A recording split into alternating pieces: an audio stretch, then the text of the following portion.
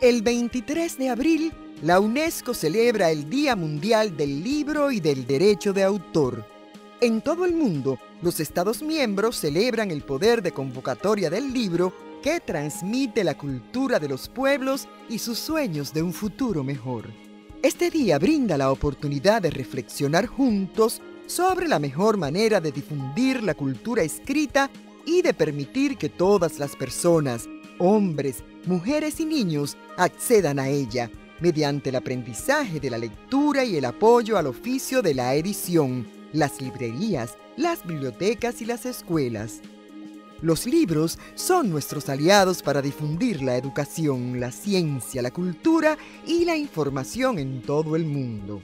Ahora más que nunca, en momento en que numerosas escuelas en todo el mundo permanecen cerradas y las personas se ven obligadas a reducir el tiempo que pasan al aire libre, hay que aprovechar el poder de los libros. La lectura nos puede ayudar a combatir el aislamiento, reforzar los lazos entre las personas y ampliar nuestros horizontes al tiempo que estimula nuestras mentes y nuestra creatividad. Durante el mes de abril y todo el año es fundamental para tomarse el tiempo para leer solo o con los niños.